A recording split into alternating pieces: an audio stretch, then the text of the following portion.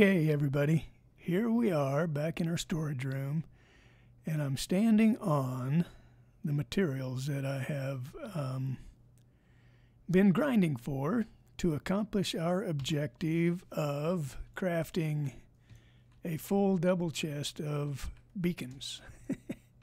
so I'm pretty sure this is going to be the most boring uh, segment of any YouTube video ever made. But I've got my, there's the replay mod finishing for some of the grinding that we'd done. So I hope to be able to make that into a video and combine that. So we have two shulkers full of um, uh, nether stars, and again, that's only that's just a little more than half what we have. So, uh, but our goal is to convert all of those into one double chest full of beacons, and to do that, we need uh, three double chests full of obsidian. So that's what we've got here, six shulkers. And we need five double chests of glass, and that's what we've got here 10 shulkers full of glass. And so, um, I don't know the best way to do this, but I'm just going to chuck a bunch of these on the floor. And then I'm going to you know, ideally we'd have a good mix of three, five to three to one, but um, we don't. I've got way too many um, obsidian here. So we're going to run out of glass like real fast, but then we can just turn around and refill our glass.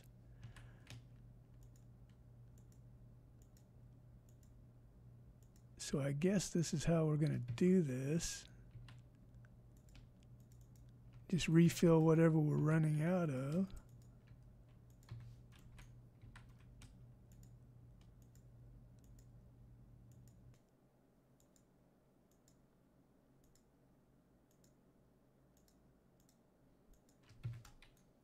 We're done, guys. One full shulker of beacons. That's awesome, isn't it?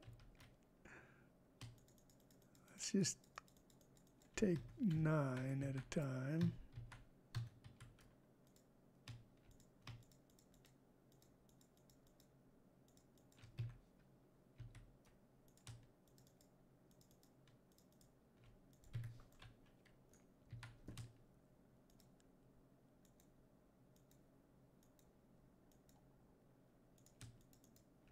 And the math was pretty easy here on how much we needed. We should be, all of these shulkers should be completely empty, except for the ones that we're putting beacons in when we're finished here.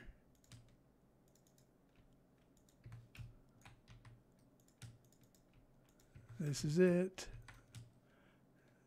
This should make a complete even number of beacons. There should be no material left.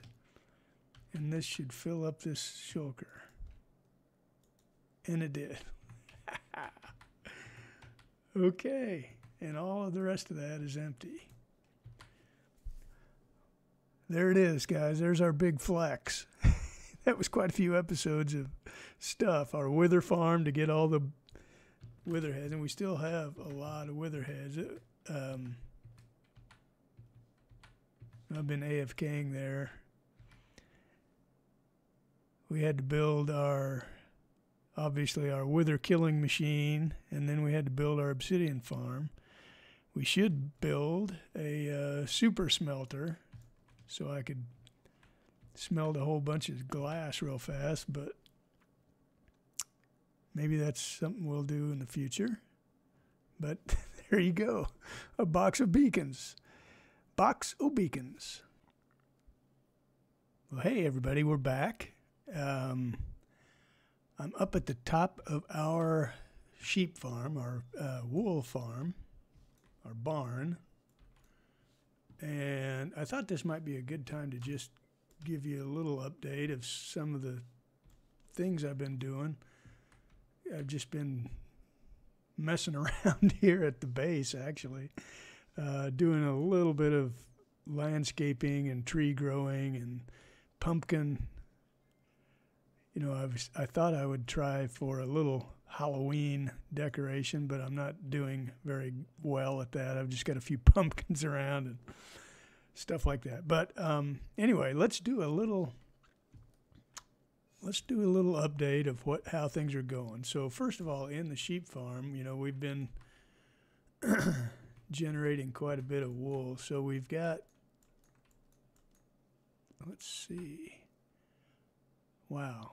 These are full and there we go. There's our first uh, the first wool into the third chest. I think the other ones are a little bit behind. I don't know why, but it seems, well, orange is doing well. Oh, yeah, orange is ahead. Um, so, anyway, that's kind of the status of our wool farm. We've got two full chests, and we're just starting in on the top uh, chest. And I don't know if I've showed you this or not, but um, I went ahead and put some chests back here and stored so I've got two, uh, three and a half chests of every color completely full back here, and now we're filling filling up these three chests again, along with the hoppers. Once we get that done, I'll probably just turn it off and uh, let it sit idle. But um, we've got a lot of wool, plenty of wool, and I think I've I think we've seen most of this stuff already. Planted trees. I'm going to go sleep because I want to show this in the daytime. So I'll be right back. Okay, we're back. so anyway, I showed this uh, path and trees and everything before, and how I tried to create, you know, sort of interesting views of our builds as much as I could. I'm not very good at it. Um, I keep threatening to do something here, but that's going to be such a big project. I just I have no stomach for it at this point. But I did want you to notice this. Um, I removed the sugar cane. So we've got um, we've got six double chests full of sugar cane out here, and I loaded up one other one uh, in our storage room. So I think we got plenty of sugar cane for now. But just in case we need more, I did. I did relocate it. So I, I did some stuff back here.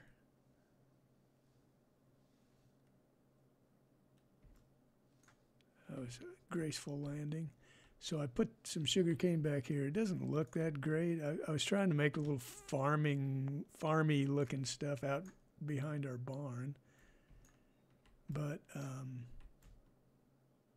so I got a wheat, I got a wheat farm growing, and the sugar cane. So again, here we're going down the. Uh, going down our path, we get this kind of dramatic view of Vale Mansion coming into into view as we round that corner.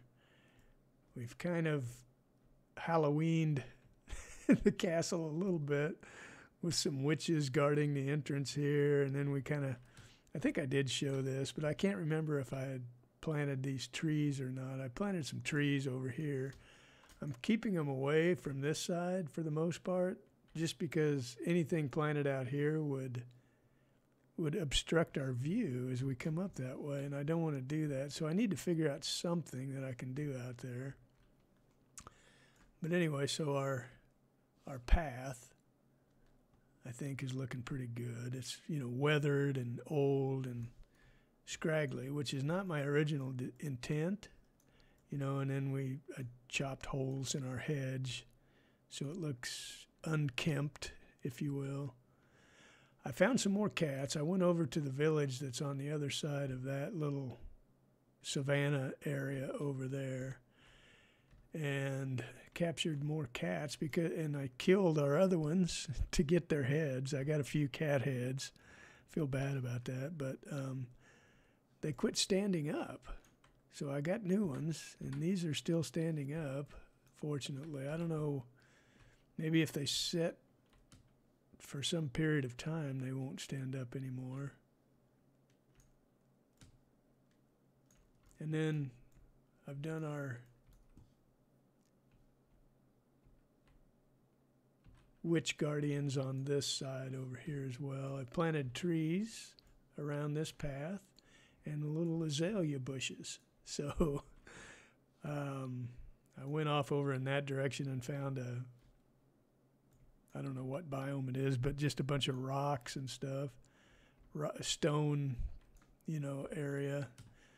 I think I don't know. That's I tried to grow azalea or moss. I took our moss block. We had one moss block. I can't remember how we got it. I think we traded a wandering villager for it very early, but we had one. So I took it and bone mealed it in a stone, you know, area and got more moss and some azalea um, bushes flowering azalea bushes and then grew those into trees and harvested some flowering azalea leaves. So, anyway, I did that. And then the other side is similarly similarly done. Uh, the only difference is these guardians are um, evoker heads and not witch heads. I think the witches look better, so I might replace those. But I've done other stuff here, growing trees. So all the trees are naturally grown. I have not tried to build any trees, even this one. So I I just planted um, multiple oak trees and then put the blocks around it at the fourth layer to make them grow into big trees. So I just did two together and then filled in a few of these blocks to make it look like that. But I, I just really have no stomach for tree building. I am I'm terrible at it. I don't know how to do it. Um, I wish I could learn because I wouldn't mind. There. maybe I maybe I need to watch Good Times with Scar because I know he's really good at it. Find an episode where he's building them. So, anyway, just a little update. I think our area is looking pretty sweet, actually. Um, even with the natural trees. You know, it'd be cool to build a, a really dramatic, large a couple of specimens, you know, maybe a, a, spruce tree that was just gigantic back in here. But anyway, guys, there's our base area. I think it's looking pretty sweet myself. So, the other thing I've done, let me just quickly show you. Before we talk about our next project, I do have some, but I did want to show you that I have built a portal to the uh, raid farm. And this is going to allow us to um, this is going to allow us to keep some keep a mob, you know, some mobs in chamber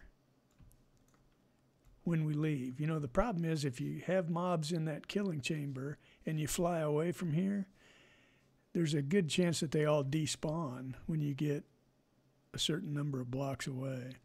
But if you just if you disappear and these chunks just immediately unload, which is what happens when you go into the nether, and then um, our base is far enough away so that the chunks do not reload again when we're there. So these chunks just stay unloaded until we come back through that portal. You can keep a collection of mobs in there. And so you can see we've got some, it's hard to see. I've put, that may not have been a good idea, but um, there are some in there with flags on their heads. So when we kill these mobs, we'll get bad omen, and we don't have to go to the to the uh, outpost every time. So this will make a little time saver to use it. We have been using it quite a bit. We've got quite a few emeralds piled up and stuff. Hey everybody, welcome back.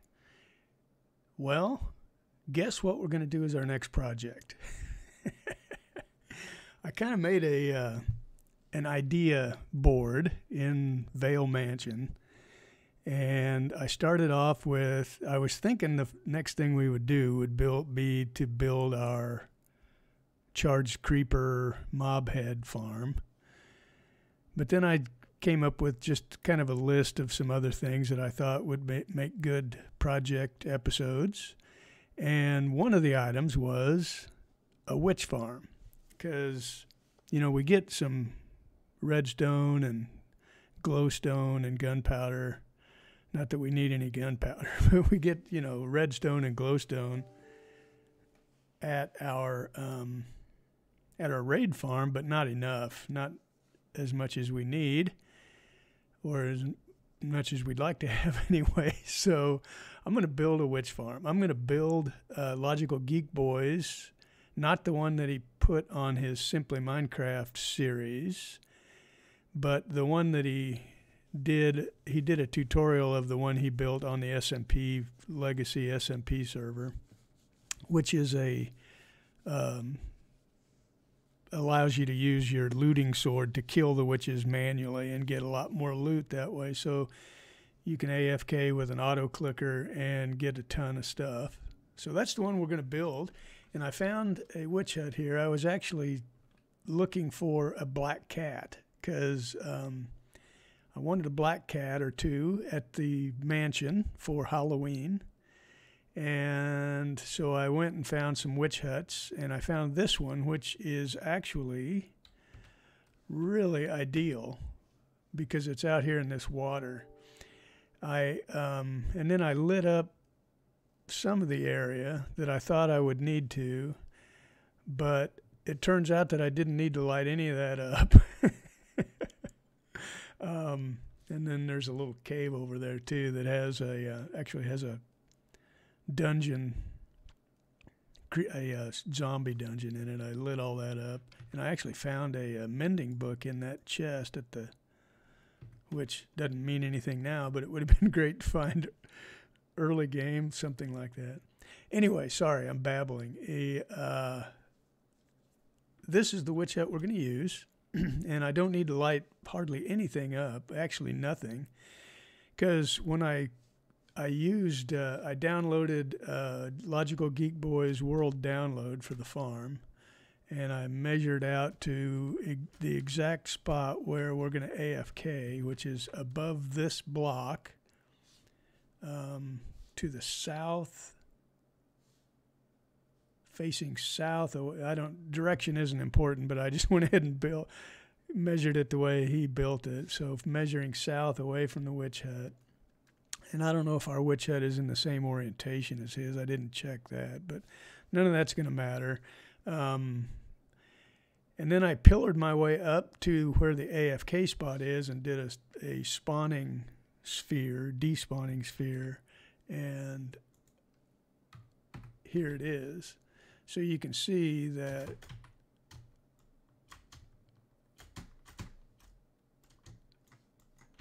well, you can't see unless I could fly. I mean, so there we go. So you can see that none of that land is within a couple of blocks is all, and then there's no um, there's no caves that I could find under this spot. I went down in this cave and looked around, and I mean there may be something underground there. I'm not sure. We may have to explore a little further. But um, but anyway, this is our. So this is our witch hut, and it's a good spot. So anyway, I pillared my way up to the, uh, like I said, to the uh, AFK spot and did that despawning sphere. The other thing I did while I was up there was, uh, let's turn this off.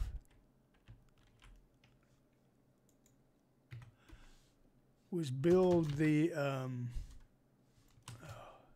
can't fly from that. The other thing I did was build everything that needs to be up here. So I've, I've done quite a bit of work actually. Not much. I mean, all I did was build a, uh, a storage facility. I didn't, I figured that I might as well just get that out of the way since that's just a uh, standard thing. I'm using some of our crying obsidian. I love the particle effects that that stuff has. This is our this is our AFK block right above there. And then I build a portal so we can get here. This is quite a ways away. You can see my coordinates. I'm at negative 3,400 and, and about 5,000 in the Z direction. So quite a ways away. And, uh, and so I've just kind of built this stuff. This is where the witches are going to end up landing, and we're going to chop them up with our with our looting sword. And this is the um, this right here is the tube that they're going to be flying up in the air from. So this is our next project, guys. I thought this was appropriate since it's uh, nearly Halloween. Anyway, thanks for watching. We'll see you in the next episode.